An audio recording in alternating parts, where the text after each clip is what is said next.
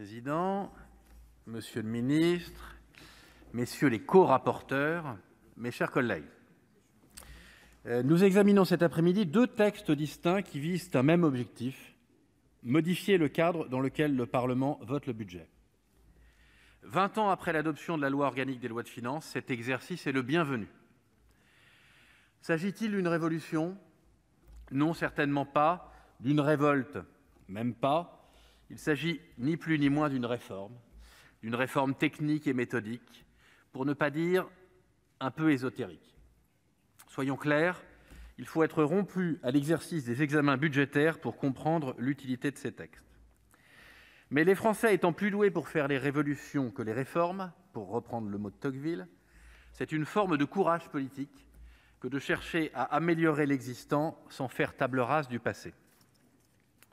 La LOLF, qui encadre nos débats budgétaires depuis 2001, a en effet prouvé son efficacité.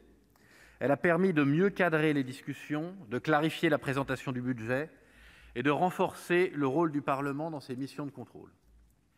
Cependant, vingt ans après, nous avons identifié les défauts et les lacunes de ce grand texte qui ne pouvaient pas être parfaits. Des ajustements s'imposent et nous allons pouvoir en débattre sereinement. En l'occurrence, mieux vaut de petits ajustements qu'un grand chambardement. Bien sûr, la question du tempo de la réforme se pose alors même que la crise a profondément éprouvé nos finances publiques et elle a été posée par le corapporteur. Est-il judicieux de discuter de méthode quand il faut de toute urgence assainir les comptes publics?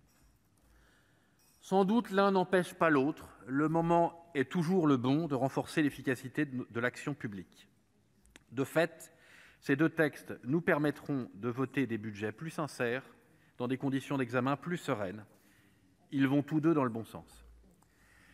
Cela vaut notamment pour ce qui concerne les collectivités locales. La proposition de loi organique doit permettre d'y consacrer un grand débat au Parlement, tout en améliorant l'information disponible sur ce sujet. Je pense que nous sommes tous ici d'accord pour dire que cet exercice démocratique est sain, pour la simple et bonne raison que nous ne sommes pas d'accord sur le fond. Grâce à ce texte, nous pourrons peaufiner nos diagnostics et faire valoir nos orientations politiques. En clair, nous serons dans notre rôle. Il en va de même pour la révision du calendrier budgétaire.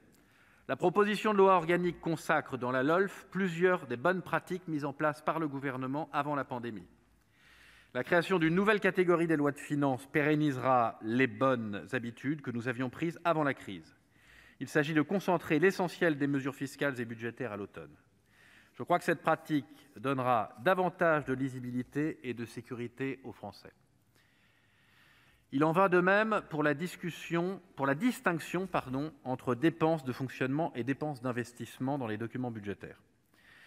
Nous avons été nombreux, au sein de cet hémicycle, à vouloir que l'endettement public ne serve pas à financer les dépenses de fonctionnement. Cette distinction est donc la bienvenue et c'est à mes yeux l'un des points forts de ce texte. Sur ce point, prenons garde au mauvais procès. Distinguer, ce n'est pas discriminer, identifier, ce n'est pas hiérarchiser. On peut distinguer deux catégories sans forcément dire par la même occasion que l'une est utile et l'autre inutile. La justice, la police, l'armée relèvent du fonctionnement davantage que de l'investissement, elles sont pourtant essentielles.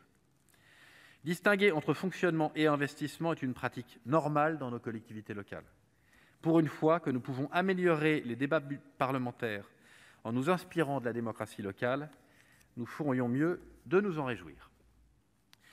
Il est essentiel de mieux identifier également les dépenses qui préparent l'avenir et celles qui relèvent de la gestion courante. En vérité, ce devrait être notre unique obsession, si nous voulons que les générations futures ne croulent pas sous la dette publique ni sous la dette climatique. Le renforcement de la programmation poursuit le même objectif Certes, la crise nous a rappelé qu'il peut être salutaire de s'écarter, quand la situation l'impose, des programmations antérieures. D'ailleurs, le principe d'annualité budgétaire à valeur constitutionnelle garantit au Parlement cette faculté. Mais il est urgent que nous reprenions le contrôle de nos finances publiques. Le Gouvernement comme le Parlement doivent prendre des engagements forts pour réduire l'endettement public. Les propositions que nous allons examiner n'y suffiront certes pas, mais elles y contribueront utilement.